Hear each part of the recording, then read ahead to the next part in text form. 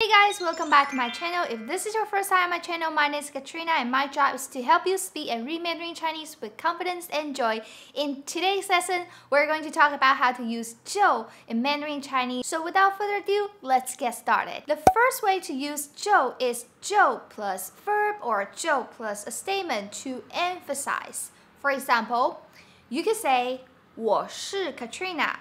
So it literally just I am Katrina, 我是 Katrina versus you use 就，我就是我就是 Katrina. You see the difference? By using 就, you're emphasizing that you are 我就是 Katrina. Another example, you could say 这是我的家. This is my house. This is my home. 这是我的家. Or you could use 就 by saying 这就是我的家，这就是我的家。So you're emphasizing that this is my home. Next one is a very commonly used one. It comes with e something something. 就 something something. So the something something here is action I'm talking about. So e action 1 就 action 2. It's usually translated as as soon as. For example, 他一下班就回家喝啤酒。 他一下班就回家喝啤酒。So there are two actions here. 下班 finish work and 喝啤酒 drink beer. So as soon as he finished work, he drink beer immediately. 一下班就喝啤酒。我一打开课本就想睡觉。So in this sentence, 打开课本 is action number one. Open the textbook. 想睡觉 meaning feel like sleeping or sleepy. So it means that as soon as I open the textbook, I feel sleepy. 我一打开课本就想睡觉. The next one is using 如果 something something and 就 something something.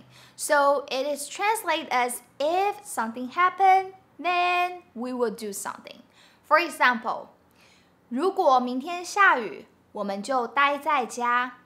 If it rains tomorrow, 明天下雨. So if this situation happens, 我们就待在家. Then we stay home. 待在家 is the second condition. So if the first condition happened, then we decide to do the second condition. 如果明天下雨， 我们就待在家。如果我中乐透，我就要环游世界。If I win the lottery, then I will travel around the world. So first condition 中乐透，and if this happen，我就环游世界。Travel around the world. This is the second condition. 如果哒哒哒就哒哒哒。Here you can switch 如果 to 要是，so you can say 要是明天下雨，我们就待在家。The same as 如果明天下雨，我们就待在家。Also, you can use the structure 既然 condition 就 an action or condition。既然这是你的决定，我就尊重你。Since this is your decision, then I respect you. 既然 since so it's different from the previous 如果 right so 既然 since 这是你的决定 since this is your decision 我就尊重你 then I would respect you 尊重 meaning to respect 我就尊重你既然你不想去我就不勉强你既然 since 你不想去 since you don't feel like going 我就不勉强你，then I won't force you. 勉强 is to force someone doing something. Next structure is using 只要 as long as plus condition 就 and the result. For example, 只要努力就能成功。As long as you work hard, then you can succeed. 只要努力 so 努力 is the condition, hardworking, as long as you hardworking, 就能成功 then you are able to succeed it. 只要你考一百分，我就请你吃饭。So 你考一百分 you get a hundred on your test. 一百分 meaning a hundred score, a perfect score. 只要你考一百分，if this happens， 我就请你吃饭。Then I will treat you a meal. 只要你考一百分，我就请你吃饭。Treat you to a meal. The next one is using 不是 action 就是 action structure 不是就是他周末不是休息就是和朋友见面。休息 is the first action, the first thing, right? And 和朋友见面 meet with friend is the second thing. So he's either resting or meeting with friends on weekend. 他周末 weekend 不是休息，it's not resting，就是和朋友见面 or meeting with friends。这件衣服不是你的，就是他的。 你的 your，他的 his。This clothes is either yours or his。这件衣服不是你的，if it's not yours，就是他的。then it's his. The next one is, I think, a little bit advanced. It's to talk about to do whatever you wish or you want. The structure is 想哒哒哒就哒哒哒. Okay, let me give you an example. 你想吃什么就吃什么，别客气. It's literally translated as you would like to eat what, then you eat what. Don't be polite. So eat whatever you want to eat. Don't be polite.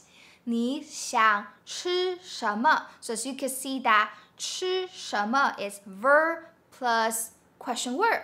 Eat what 吃什么就吃什么。 你要去哪里就去哪里，不用问我。You can go wherever you want. You don't have to ask me. 你要去哪里？You want to go where? 就去哪里，then you go where. Literal translation here.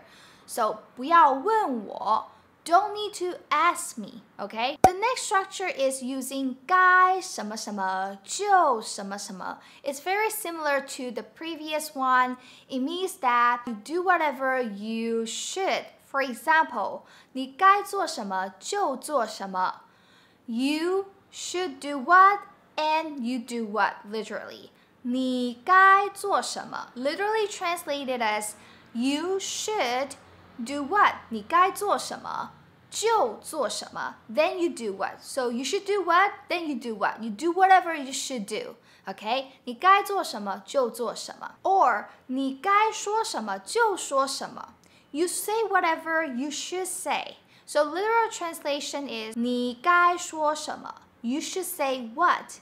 就说什么，then you say what. So you should say what, then you say what. Say whatever you want to say. The next structure is by using verb 了就 verb 了. You might be thinking, what is that? So this expression is to express that when something has already happened, you have no power to change it. So you're just like, okay, just let it be what it is. For example, 杯子坏了就坏了，再买个新的吧。杯子 the cup 坏了，so 坏 here is a verb， 坏了就坏了，so it's broken then it's broken，再买新的吧，just get another new one。杯子坏了就坏了，再买个新的吧。火车走了就走了，我们等下一班吧。火车 the train 走了就走了。So literally means walk, but here means to depart or left. So the train left and then just let it go. Um, we just wait for the next one. 火车走了就走了，我们等下一班吧。The next one using Joe is to talk about something happened earlier than usual or than you expected. For example，我平常八点起床，可是今天六点就起床了。 I usually get up at eight, but today I got up at six. 我平常八点起床，get up at eight，可是今天，but today 六点 six o'clock 就起床了。I got up six earlier than usual。他两岁就开始学英文了。She started to learn English when she was two.